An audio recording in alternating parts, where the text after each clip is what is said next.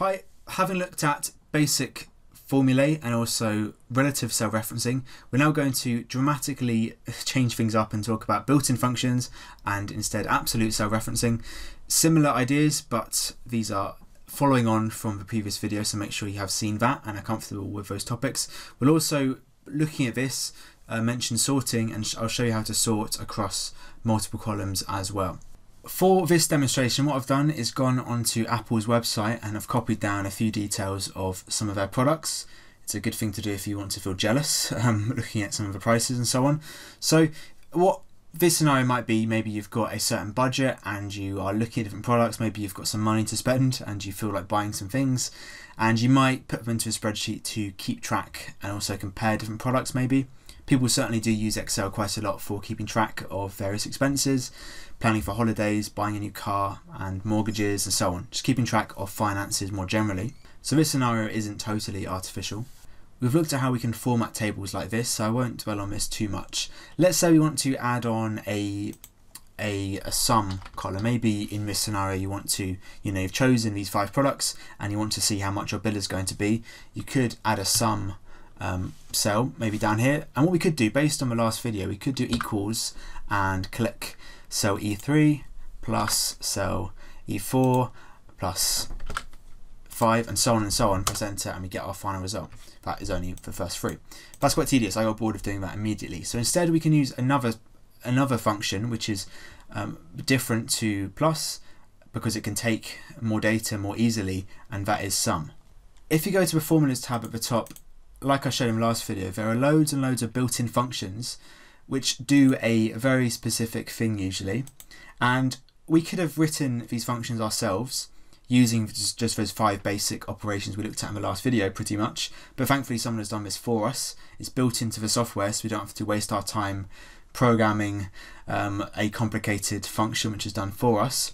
The ones we're going to look at in this video are not particularly complicated. We'll look at more advanced ones in future videos, but they are quite useful, in fact, very useful sum being one of them. So sum is a function. If I just delete this because that was nonsense. As always, we're doing a formula, so we start off with an equal sign. If I type in sum, either lowercase, uppercase, you can see once I start typing, I get a little prompt with some other formulas which are um, available to us, other uh, functions I should say.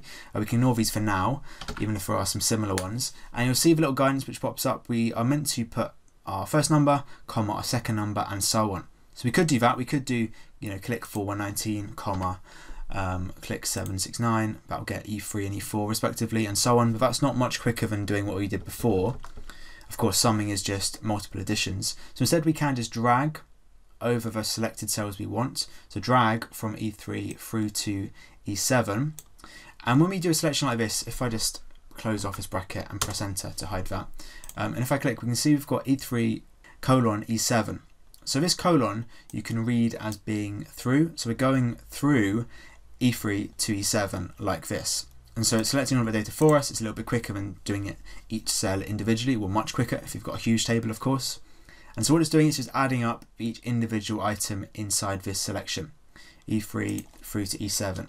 And our total is £4,566. So actually what we could do is we could convert the data types here um, from just general, uh, general as it is at the moment. We can convert it to currency so we can see the pounds and it becomes a little bit more uh, useful for our purpose. Another commonly used function is the min function, so the minimum value in this selection. So if I now type in min, not mum, uh, min, and again do the exact same thing, select my items, close my bracket, press enter, and this will find the lowest item in this list, which is the watch series 3, of £199. That's the lowest item it finds. It's just checking through each item to see which one is the lowest. Exact same with the max, except of course it's finding the largest.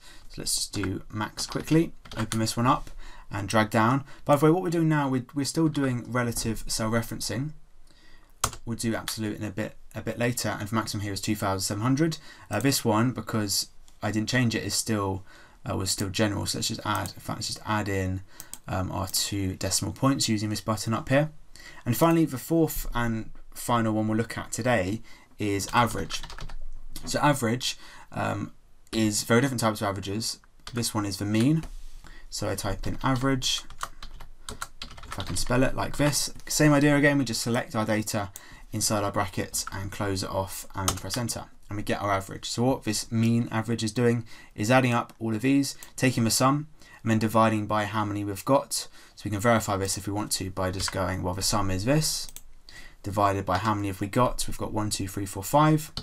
that should be the same value as it is over here, which it is. So perhaps we want to format this a bit better. We might want to change the names here. This might be often called total. This might be the lowest price. This is the highest price, and this might be the average price. Uh, let's click it twice to get inside and change it. Double click average price like that. Maybe we want to make these bold and black and um, highlighted uh, like it was at the top because these are really just uh, headings and add in our borders to this, select all of this, add in our borders up here, and it's a little awkward extension to our table like that. What I can do if I immediately want to mess up my formatting is use my fill handle to drag across. So if I drag this to the left, what this will do is now, because we're doing relative cell referencing, it will work out the sum of my storage capacity column, which doesn't fully make sense because this one is now a, um, a currency, which it isn't. This is in terms of gigabytes. If I just add this at the top and make sure this is big enough. So I want to change this back to, we could do just a number or we could do general like that. Um, that's the same sort of thing. Uh, we can do the same with these two. But if we dragged it the other way with my key feature column, I get zero pounds because it's trying to work out, it's trying to sum all of this text and it can't sum text because the data type is wrong. You can't add up text in the same way that you can add up numbers like we could with the price and capacity column. It'll work okay with the years because the years are treated at the moment like numbers. If I put in a proper date, it would work a little bit differently. Uh, but again, it won't work with my product name because they are letters, uh, because they're text and not numbers. But let's just do undo to get rid of that mess. And now let's talk about absolute cell referencing. Let's say we've been given, we've been very lucky and have been given, I don't know, a budget of what could we say, a thousand pounds? Quite a nice budget and we want to spend it on some Apple products. We might, want, we might want to see what products we can afford. And now there may be smarter ways of doing this, but we could always just add a column on and call this um, uh, remaining budget and we want to find out how much money we'd have left over if we buy each of these products. Again, not a great example, but it, it could could be useful to us maybe. By the way, you can add in images just by pasting them in. Let's get rid of this Apple logo, bit of a distraction. So what I want to do, I want to just subtract our price from my budget for each of these. Let's change this to a, a currency so it fits in. Okay, first of all, I put an equals, that's how we always start our formulae, and I click my budget E13 here and I want to subtract my first price for the iPhone SE. Click this, cell, and now press enter and this is fine. 580, 581 pounds left, which is okay. But if I now drag this down, if I use the fill handle to drag this down, try and save myself some time, we get, well, it, it looks initially like it's working okay, but actually if we examine this a bit more in more detail, we'll notice it's a bit dodgy because here we have a minus why do we have a minus here? Because we should be able to afford the iPad Pro. We have got enough money left over. Why have we got a minus here? It's because if we look at what is referencing in the formula bar, E14 is down here. So E14 is below our budget cell. And so really it's doing 0 minus 769, hence we get minus 769 pounds. Same with the other ones here. So actually it's not working because the fill handle has mistakenly gone forward because it's followed the pattern.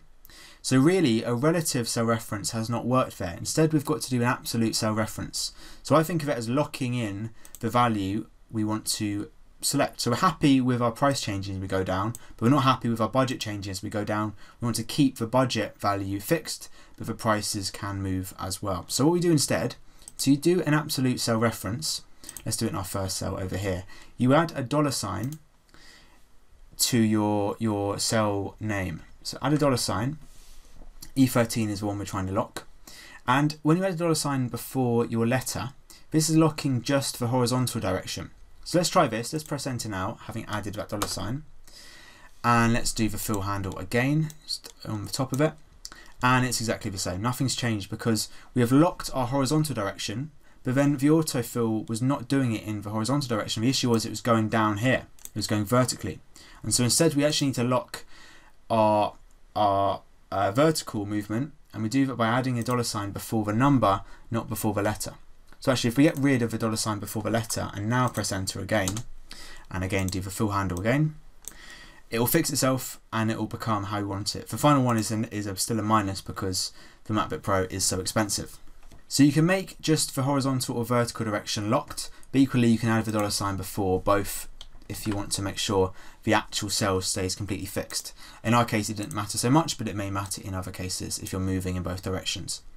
So um, I don't think that actually uh, saved, but that's fine. So I've just added a dollar sign before both my letter and my number, and that means we're using an absolute reference, not a relative reference. Okay, let's do another example. Let's say Apple have got a student discount, which they do, but I'm not sure if it's a fixed percentage. Let's say this is a discount of 10%, so I can set 0.1 and then change it to a percentage if I want to show off, if I can use that. Uh, same sort of idea, maybe we should do a column which is um, discounted price, like that let's just make sure we've got our formatting. Let's just add formatting to this, add in our, our grid. Okay, so what I want to do is I want to work out what the discount would be if I apply the 10% discount on our original price over here. So what I could do, because we're trying to reduce the price, I could equally multiply, um, so what I could do, I could do equals and go in brackets 1 minus the value down here, which is 0.1 in E15, then multiply this with our first price over here. Because, you know, we were trying to do a discount, we can multiply 0.9, 90% times our original price is the same as applying a 10% discount. So we try this, this would be our discounted value. Uh, equally, I could go back and do instead, first of all, work out what the actual discount is by multiplying our discount times our original price. So just this on its own would be the actual discount we get from it and then of course we can uh, subtract this from our original price so just adding this again and then minus make sure we have brackets because for BODMAS uh, we'll keep it consistent press enter and the same price we get and now same issue with our budget column if I drag this down using the fill handle the prices we get look fine but actually we'll see they do not really work so if I check this one and the issue is sometimes you'll you'll see it and it works, but actually it's not always working as you expect. Uh, some sometimes you will get, you will get an error. Uh, so this one I can see I get E16 uh, times E4. So E16 is again down below the actual cell we want, and so we need to lock this cell by using an absolute reference, not a relative one. So I click this, and I can just go to E15 and add a dollar sign before my letter and then before my number to make sure it is fully locked. Press enter and now if I drag down my fill handle again, make sure you do it twice, it will update and these will be the actual discounts. And the power of referencing is that we can very, very quickly update our values without having to go through and do the same calculations again and again. If I change this, imagine Apple are very, very generous all of a sudden and set it to 95%, 96%, because I mistype. Uh, suddenly our discounts become uh, huge and we can definitely afford it. Maybe we want to update our budget based on these new prices. I can simply go over here and instead of focusing on uh, the ease column for our prices down here, I can change this to be instead, I want instead of E3, I want it to be H3 down here. Press enter and again use my fill handle to drag down and update my um, prices over here based on the new discounted price. And suddenly I've got loads of money left in my budget because Apple have been so generous. So in summary, if we have a value in a formula which needs to remain fixed, even if other aspects of a formula need to change and follow a pattern, we need to make sure we use absolute cell referencing by adding a dollar sign before the letter and the number or one or the other depending on your context to make sure that that value remains fixed even as your calculations may be moved to other cells. One final thing we may want to do to our table is to sort it in some way. Perhaps we want to sort it by price or sort it by release year. So maybe I want to have the oldest product first and the uh, newest product last. So what I can do is, thankfully again, Excel does a lot of the work for us. You can think of uh, you can think of sort as a built-in function, except it works in a different way because we can go straight to the data tab at the top, and over in the sort and filter group we have a sort button. If you just click the cell you want to focus in on, so say uh, the first cell in our release year, there are two buttons here. One is for descending and one is for ascending.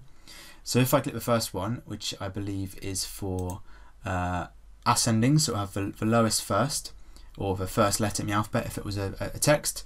Um, and if you see, it it um, it swapped all of the rows. So it doesn't just change for one column; it changes all of them. So thankfully, none of the data gets lost. It does all align up. If I go back, you'll notice that the Watch Series 3 row is the same, it's just in a different place now. So it, it swaps the entire table around, it doesn't ruin any of the data. So if I could, if I do the same thing with our key feature column, maybe with um, descending this time, it would do it alphabetically as opposed to uh, numerically. Um, so that's fine, we can do that um, and order it by date like that.